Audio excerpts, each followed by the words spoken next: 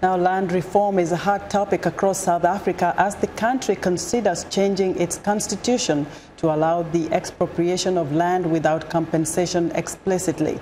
The policy is designed to redistribute land to poor black people to tackle severe inequality 24 years after the end of apartheid. VOA's Paul Ndiho reports. Stakes are high as South Africans gear up for general elections in 2019. This will be the sixth election held since the end of the apartheid system. The African National Congress party, which has ruled since the end of apartheid in 1994, is facing an uphill battle to retain its dominance and is proposing constitutional changes to address land issues. The fight over land reform is expected to be a fierce political battle, but a South African President Cyril Ramaphosa says the proposed land reform is a lawful process that seeks to correct the legacy of decades of white minority rule that stripped black people of their land. People of South Africa of all races are working together through Parliament and indeed a number of other formations and legal platforms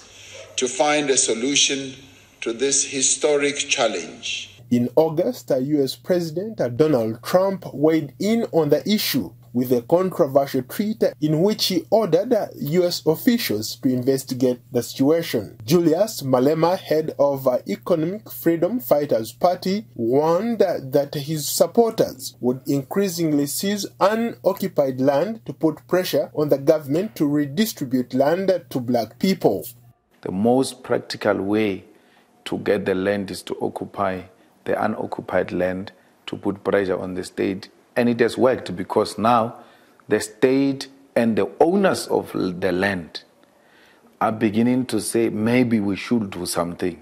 The EFF won just over 8% in the 2016 local elections and hoped to make a breakthrough in the 2019 general elections by tapping into frustrations among millions of young and poor South Africans black South Africans are comprised of 80% of the population, but own just 4% of the country's land, according to government records.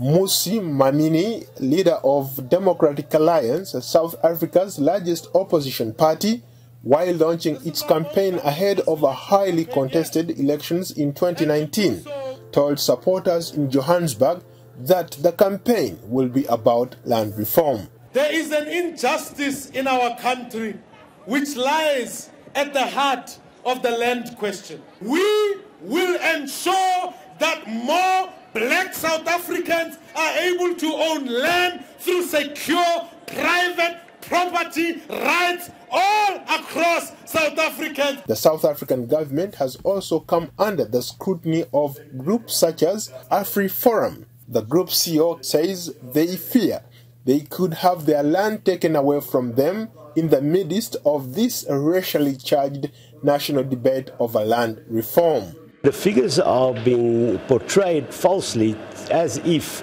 uh, white people own all the land, which, as I've said, is only 22%. And that is being abused to try and mobilize people um, to um, building up hatred towards uh, the white community. The land debate in South Africa is sparking similar sentiments in neighboring Namibia. A report that tabled at the National Land Conference last month said 995,000 people out of Namibia's total population of 2.4 million live in informal settlements, and white commercial farmers own 70% of the farmland.